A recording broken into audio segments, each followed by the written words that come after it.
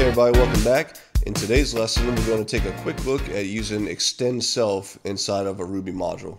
So in Ruby, if you use uh, extend self inside of a module, what it's going to do is take any instance uh, methods that are defined inside that module and make them available at the module level. So that means you can call those methods on the module itself without actually uh, instantiating it or trying to and seeing that you can't because it's a module, not a class.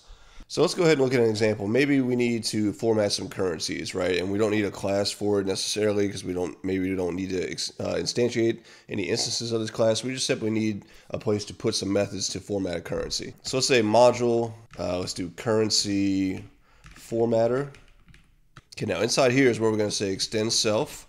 Now self being the module itself. Now maybe let's make a uh, instance uh, variable here for this module, and maybe let's say uh, let's call it a default currency. Oop. And then let's make that a string of USD. Now let's go ahead and define a, a format method here. So say def format, we can say amount, uh, that'll be one argument, the currency will be the next one, uh, and we can use the uh, at default currency for this as a default argument.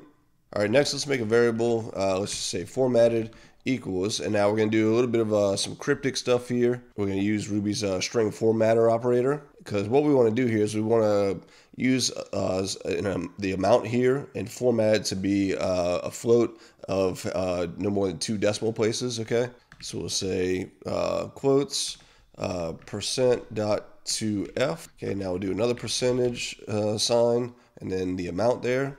So I'll take whatever amount is passed in and format it. Uh, it's supposed to be a F, sorry, not a G, uh, to be a float of two decimal places. And then we can just simply uh, go ahead and interpolate the currency. And then we'll do a space and then formatted.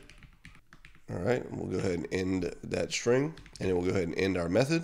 And maybe we can do like, uh, we can take in uh, a list of amounts and go ahead and format those using that method. So we can say format list, take in amounts as an argument.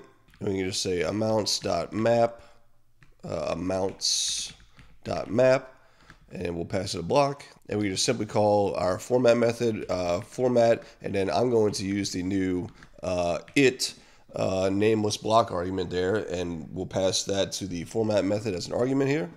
And we can end this method off and go ahead and end off our module. And now let's give it a test run here. Let's say currency formatter uh, dot format. You can see uh, here in IRB, uh, Ruby is now aware that this method is uh, available on this module, which is what the extend self did there. And if we pass it, say, uh, 12.5, for example, now we go ahead and see that we get uh, our formatted currency here, USD 12.50. Uh, now, if we wanted to, you could uh, also update this to make it uh, change currencies. We need to uh, change our module a little bit here. So we say module uh, currency formatter here and uh, give it a adder. we could do accessor here and we'll go ahead and expose default currency. We'll end that off. So now we could go ahead and say something like currency formatter dot default currency equals and then we can go ahead and change that to euros. Okay, now you would need to add in some logic maybe to do some conversions here on some numbers. Uh, but if we went ahead and uh, changed this or ran the code before, uh, or that we ran before to uh, use the new currency, now we can see that we've switched to euros here.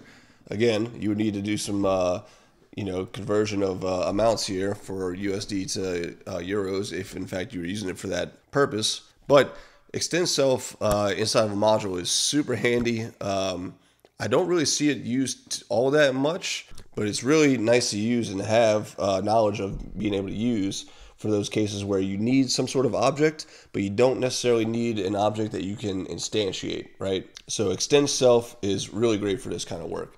All right, so with that, uh, we're going to go ahead and end it here. Quick one today. I just wanted to show you uh, using extend self inside of modules and how that uh, takes all of the instance methods that are inside that module, uh, that are defined inside that module, and then makes them available at the module level.